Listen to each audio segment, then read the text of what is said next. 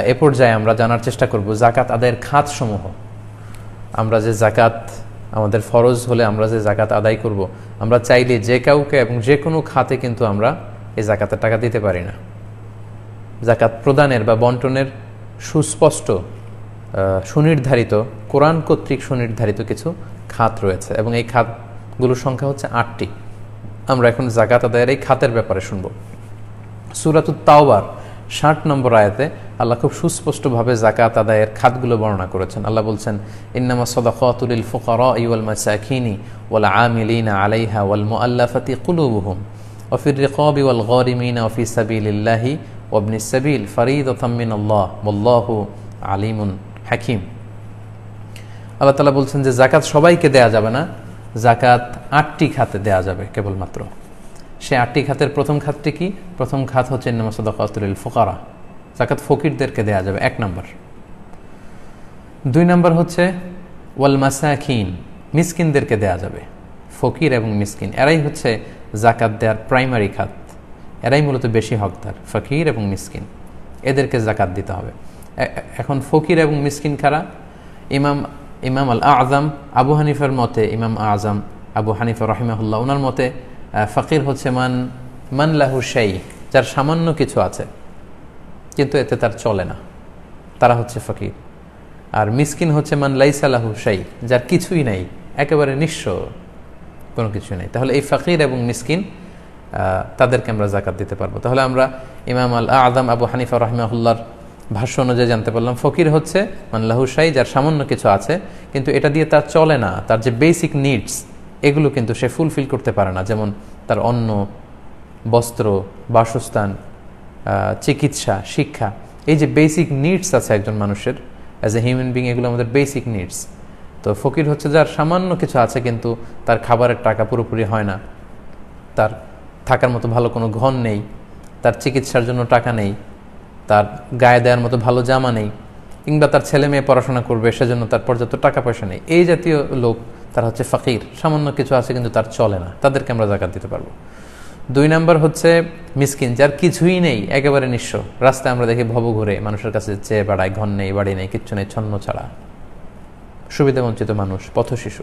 এরা হচ্ছে মিসকিন, এদেরকে আমরা দিতে পারব। তিন নম্বর হচ্ছে ওয়াল আমিলিন। ওয়াল আমিলিনা আলাইহা। আমিলিন মানে হচ্ছে যারা জাকাত ম্যানেজমেন্ট সেন্টারে জব করবে। অর্থাৎ জাকাত উত্তোলনের জন্য। যেহেতু ইসলামী সিস্টেম হচ্ছে যে রাষ্ট্রীয়ভাবে মুসলিম দেশের জাকাত কালেক্ট করা হবে এবং ডিস্ট্রিবিউশন করা হবে। তো এই কালেকশনের কাজে যারা কালেক্টর থাকবে, যারা সুপারভাইজার থাকবে, যারা এই জাকাত ম্যানেজমেন্টের এই কর্মকাণ্ডের যারা স্টাফ থাকবে, তাদেরকে আল্লাহ তালা জাকাতের অর্থ থেকে তাদেরকে স্যালারি দেওয়ার অনুমতি দিয়েছেন। যদিও তারা ধনী হয়ে থাকে। যদিও তারা ব্যক্তিগতভাবে ধনী হয়ে থাকে, কিন্তু জাকাত, উত্তোলন, জাকাত বিতরণ এই সমস্ত কাজে যে সমস্ত স্টাফ বা কর্মীরা নিয়োজিত, তাদের স্যালারিটা জাকাতের অর্থ থেকে দেয়া যাবে। চার নম্বর হচ্ছে ওয়ালমা আল্লাহ কুলুবুহুম ওয়ালমা আল্লাফত কুলুবুহুম। বিধর্মী নন মুসলিম যারা, তাদের চিত্ত আকর্ষণের জন্য, ইসলামের প্রতি তাদের মন একটু ঝুঁকে যাবে, তাদের চিত্ত আকর্ষণের জন্য বা ইসলামের প্রতি তাদের হৃদয়ে ভালোবাসা জাগবে, এজন্য জাকাতের অর্থ থেকে তাদেরকে দেয়া যাবে। তো এই মোয়াল্লাফত কুলুবহুম, এই বিধানটা আসলে, এই হুকুমটা এখন আর বলবৎ নেই। কারণ এটা আল্লাহ রাসুসাহ ইসলামের সময়কালের জন্য ছিল। তখন মুসলমানদের কিছুটা দুর্দশাগ্রস্ত সময় ছিল। তাই অমুসলিমদের মধ্য থেকে কাউকে যদি জাকাতের টাকা দিয়ে ইসলামের প্রতি আকৃষ্ট করা যায়, এজন্য আল্লাহ তালা এই বিধানটি দিয়েছেন। কিন্তু পরবর্তীতে যখন ইসলামকে আল্লাহ তালা সম্মানিত করেছেন আজাল্লাহ তালা বিন আইমাতিহি আল ইসলাম, তখন কিন্তু এই বিধানটি আর বলবৎ নেই। তাই মেজরিটি স্কলারদের মতে জুমহুরুল ফোকাহাদের মতে মোয়াল্লাফতু কুলুবহুম, এই বিধানটি আর এখন বলবৎ নেই। কোনো নন মুসলিমকে সাধারণত জাকাতের টাকা দেওয়া যায় না। মেজরিটি ফোকাহাদের এটাই মতামত যে জাকাতের টাকা অমুসলিমদেরকে দেওয়া যাবে না।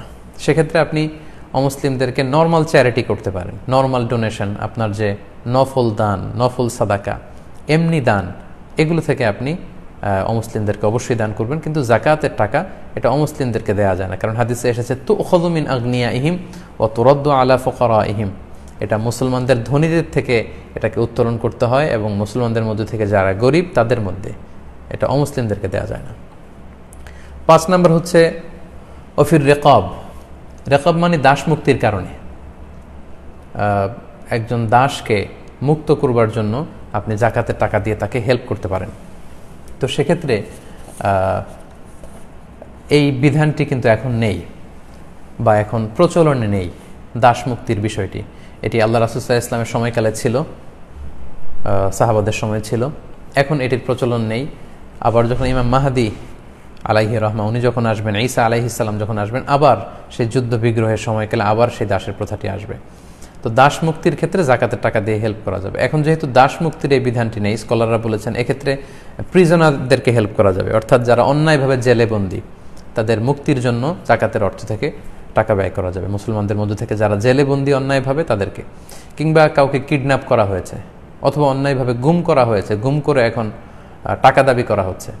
তো তার লাইফকে বাঁচানোর জন্য এরকম কিডন্যাপড বা গুম করা হয়েছে এই জাতীয় ডিজেপেয়ার্ড হয়েছে, খুঁজে পাওয়া যাচ্ছে না। পরে জানা গেল ফোন করে বলা হচ্ছে যে কোনো দস্যু দল বা ডাকাত তাকে ধরে নিয়েছে কিডন্যাপাররা এবং এত টাকা দিলে অমুক ব্যাংকে এত টাকা অ্যাকাউন্টে পাঠালে তাকে ছেড়ে দেওয়া হবে। এরকম বিপদগ্রস্ত যদি কেউ থাকে, সেটাও অফির রেখাবের আওতায় পড়বে। আমরা এই জাতীয় ভিকটিমদেরকেও জাকাতের টাকা দিয়ে হেল্প করতে পারি। এরপর হচ্ছে অফিস সাবিলিল্লাহ। সাত নম্বর হচ্ছে অফিস সাবিলিল্লাহ মানে আল্লাহর রাস্তায়। এটা আসলে ব্যাপক বিষয়, তবে মেজরিটি স্কলারদের মতামত হচ্ছে অফিস সাবিল্লার দ্বারা উদ্দেশ্য হচ্ছে যারা আল্লাহর রাস্তায় জেহাদে আছে। আল্লাহর জামিনে, আল্লাহর দিনকে লি এলা ই কালিমাতিল্লাহ মানব রচিত সমস্ত মতবাদের উপরে আল্লাহর জামিনে, আল্লাহর দিনকে বাস্তবায়নের জন্য যারা সশস্ত্র সংগ্রাম করছে, এরকম মুজাহিদিনদেরকে সংগ্রামের জন্য যারা আল্লাহর রাস্তায় আছে, এরকম মুজাহিদদেরকে জাকাতের টাকা দিয়ে তাদেরকে সাহায্য, সহযোগিতা করা যাবে। এটা হচ্ছে মূল অর্থ ফিসাবিল্লার এছাড়াও অনেক স্কলাররা এটাকে আমভাবে নিয়েছেন। অর্থাৎ যে কোনোভাবে ইসলাম যেখানে বিপন্ন, সেখানে ইসলামকে বিজয়ী করবার জন্য যে কোনো সেক্টরে এটাকে আমভাবে ফিসাবিল্লাহ ধরে সেখানেও কিন্তু জাকাতের টাকা দেওয়া যাবে বলে অনেকে বলেছেন। এবং বিশেষ করে আমাদের বাংলাদেশে যে সমস্ত কৌমি মাদ্রাসাগুলো আছে বা অনেক আলিয়া মাদ্রাসা কিংবা অনেক হেফসখানা যেখানে অনেক ছাত্ররা, এতিম ছাত্ররা পড়ে, তো তারাও কিন্তু ফিসাবিল্লাহ আল্লাহর রাস্তায় তারা তাদের জীবনকে ডেডিকেট করছে। তাদের অনেকের হয়তো আর্থিক সঙ্গতি নেই। পড়াশোনা করবার জন্য। তো তাদেরকেও কিন্তু ফি সাবিল্লার খাতে আপনি জাকাতের টাকা দিতে পারবেন। সেক্ষেত্রে সরাসরি কোনো মাদ্রাসায় জাকাতের টাকা দেওয়া যায় না। বরং মাদ্রাসার যদি লিল্লা বোর্ডিং থাকে বা সেখানে যদি জাকাত ফান্ড থাকে, সেখানে আপনি দিতে পারবেন।